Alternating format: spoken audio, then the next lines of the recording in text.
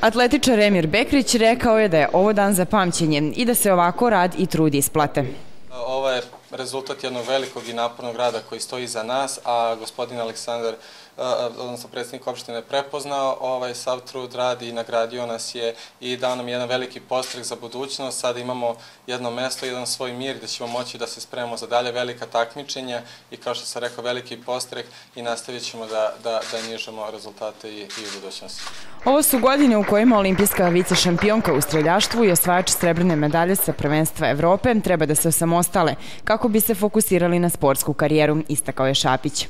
Pre svega da će im omogućiti i pomoći da se koncentrišu na svoja buduća sportska dostignuća, da će im omogućiti da se malo srede, da mogu malo da se posvete sebi, da u momentu kada su u godinama kada se obično i odvajaju od roditelja i planiraju neki svoj budući život, biti onako jedna dobra i početna osnova za sve ono što će ih sutra čekati. Maksimovićeva ističe da je ovo veoma važan moment za Bekrića i nju.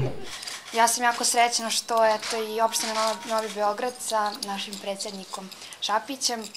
Ovaj, prepoznao, da kažem, ako jedan veliki uspeh i, da kažem, ključni moment, jer ovo zaista dosta znači kako za mene, tako i za, da kažem, sve buduće sportiste, kako koji žive, da kažem, na opštini Novi Beograd, da se svaki rad i trud isplati. Ivana Maksimović je prošle godine osvojila srebrnu medalju na olimpijskim igrama u Londonu, dok je Bekrić bio srebrni u trci na 400 metara sa preponama na Evropskom prvenstvu u Helsinkiju. A da podsjetimo, vlada Srbije dodelila je stane na korišćenje i olimpijskoj šampionki u tekvondu Milici Mandić.